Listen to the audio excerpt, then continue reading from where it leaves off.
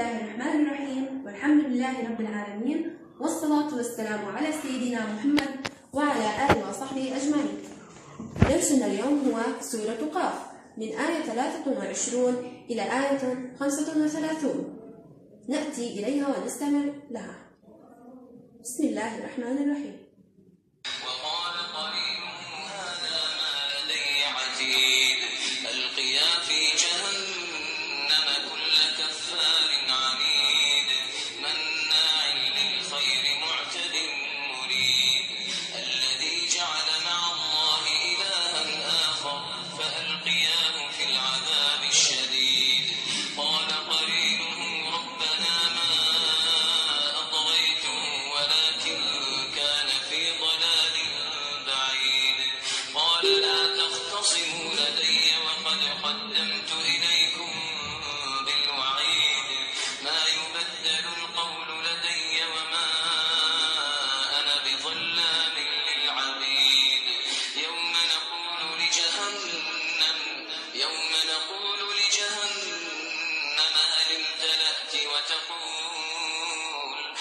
وتقول هل من مزيد يوم نقول لجهنم هل امتلأت وتقول هل من مزيد وأزلفت الجنة للمتقين غير بعيد هذا ما توعدون لكل أواب حفيظ من خشي الرحمن بالغيب وجاء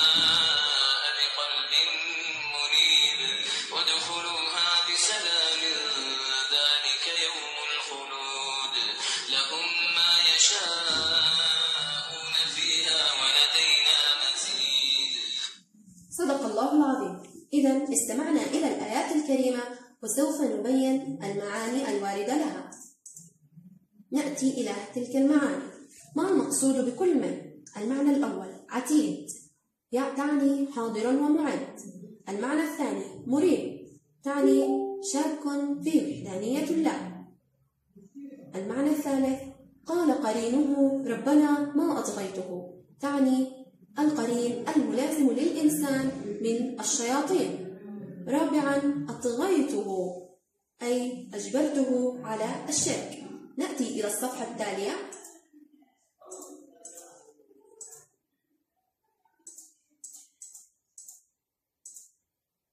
أزلفت. ما معنى أزلفت؟ أي اقتربت.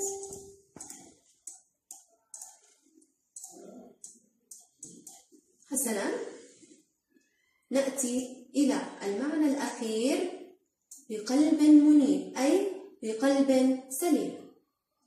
تلك المعاني هي التي وردت عن الآيات الكريمة. نأتي إلى استذكر استذكر أهم الموضوعات التي تحدثت عنها الآيات الكريمة من آية واحدة إلى آية 22 من سورة قاف.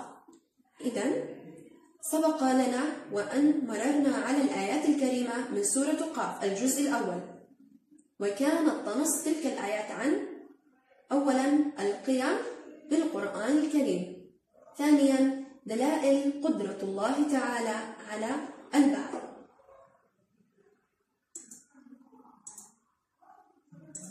ها هي الإجابة يا طلابي؟ أهم الموضوعات التي تحدثت عنها الآيات الكريمة.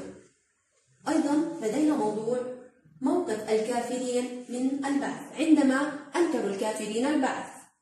وأيضا لدينا موضوع الاعتبار بمصير الأمم السابقة. إذا مصير الأمم السابقة التي اعتبرنا منها فكان ذلك من ضمن المواضيع التي نصت عليها سورة قاف في الجزء الأول. نأتي إلى المواضيع التي نصت عليها تلك الآيات الكريمة من الجزء الثاني. نضع هنا سؤال. اذكر أهم الموضوعات الآيات الكريمة. من ضمن تلك الموضوعات أولا عاقبة الكافرين. سوف نتحدث عنها بعد ذكر باقي المواضيع. وأيضا تخاصم الكافر مع شيطانه. ثالثا هو مصير المؤمنين. نأتي إلى الموضوع الأول كما ذكرناه وهو عاقبة الكافرين.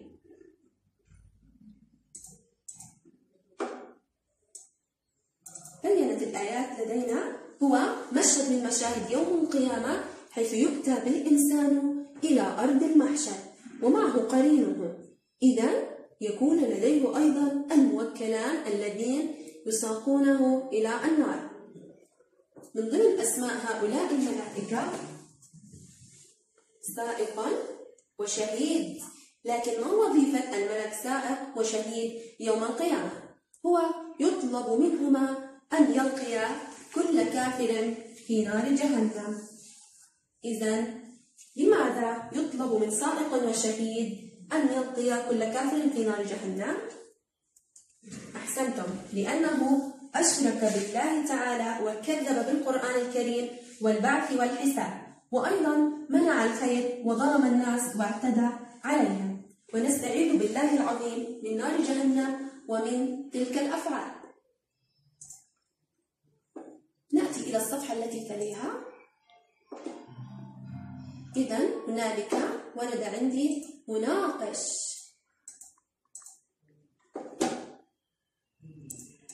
حسنا. أناقش زملائي في أثر معرفتي بوجود كل مما يأتي. أولا قرين من الملائكة يسجل أعمالي إذا لكل إنسان هنالك قرين من الملائكة يسجل أعمالي ونحن نعلم بتلك القصة بأنه يوجد ملكان على أكتاف كل من بلغ. إذا يصبح محاسبا ويسجل أعماله من قول أو فعل. إذا هنا أخاف أن يسجل أعمالي بشكل عام هي السيئات لأنني سأحاسب عليها. نأتي إلى ثانيا. قرين من الشياطين. قرين من الشياطين يوسوس لي إذا في هذه الحالة ماذا علي أن أفعل؟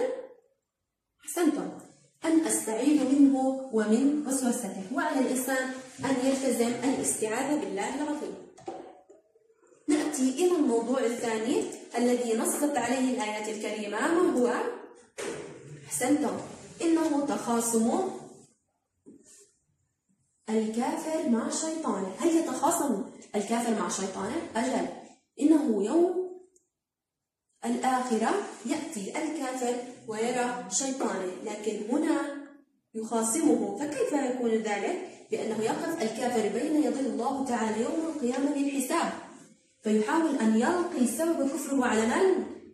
إذا على قرينه الشيطان الذي كان يوسوس له وأضله في الدنيا لكن الشيطان هنا يتبرأ منه وينكر ذلك. إذا علي أن لا أستمع إلى الشيطان. حسنا فيأمره الله تعالى بعدم التخاصم في هذا المقام. إذا لماذا الله عز وجل يأمرنا بهذا المقام أن لا نتخاصم مع الشيطان؟ من هو الذي يتخاصم مع الشيطان؟ نعود ونكرر بأنه الكافر. لماذا؟ إذا لأنه لا حجة لأحد بعد أن أرسل الله تعالى إليهم الرسل وأنزل معهم الكتب وبعد أن أنذر الناس جميعا وحذرهم من عذاب جهنم الذي أعده لكل معاند لله ومكذبا بوحدانيته. إذا مهما كان الأمر ومهما أنكروا الكافر بأنه كان هنالك من يوسوس له وأنه كان يضعفه وكان يصر له على المعصية فلا حجة عليك أيها الكافر هنا. لأن الله عز وجل أرسل إليك تلك الرسالات السماوية وحذرك من عذاب جهنم. فعلى الإنسان أن يستعيذ بالله من الشيطان الرجيم وأن يتبع نفسه في طاعة الله ولا يكون له حجة على ذلك. نأتي إلى الموضوع الثالث. الموضوع الثالث ما هو؟ كما ذكرناه سابقا أحسنتم إنه مصير المؤمنين. ما هو مصير المؤمنين؟ قبل البدء بمصير المؤمنين نعود ونكرر عندما يتخاصم الشيطان الكافر مع الشيطان فإنه بالنهاية مصيره النار. والله تعالى أعلم. ما هي الإجابة؟ بأن نتيجة أعمالهم سوف تكون بما أنها سيئة فهو في نار جهنم. والله تعالى أعلم. نأتي إلى مصير المؤمنين. ثالث موضوع. تبين تلك الآيات الكريمة أن الله تعالى أعد لعباده المؤمنين يوم القيامة ثوابا عظيما. نسأل الله تعالى بأن نكون منهم. وقرب لهم الجنة فإنهم يرونها بأعينهم ويرون نعيمها تمهيدا لدخولها. حيثما كنا في الدنيا فإنه نقول الجنة بأنها لا عين رأت ولا أذن سمعت ولا خطرت على قلب بشر. لذلك علينا أن نعمل جيدا لكي ننا- ننال تلك الدرجة العليا.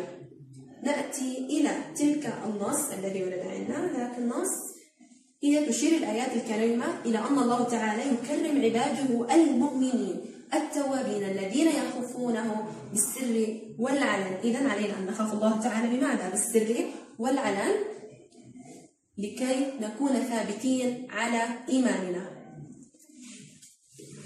نأتي إلى هنا بماذا يقول ملائكة المؤمنين عند دخولهم الجنة. إذا عندما تأتي الملائكة وتكون واقفة على باب الجنة وتستقبل المؤمنين اللهم اجعلنا من أهل هذا الموقف ماذا تقول لها؟ إنها ادخلوا الجنة بسلام تقيمون فيها آمنين مسرورين أبدا لكم فيها ما تتمنون ولكم عند الله المزيد من النعيم. نسأل الله العظيم جنة الفردوس العليا إذا الجنة دار القرار. نأتي إلى الصفحة التي تليها.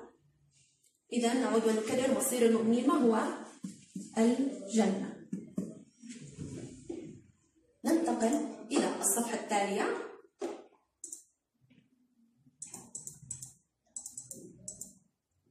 أتعاون وأجيب مع مجموعتي في الإجابة عن السؤالين الآتيين.